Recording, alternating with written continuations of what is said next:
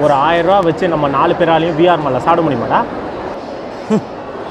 அதை செய்யறதுல தானே நான் ஸ்பெஷலிஸ்ட்டு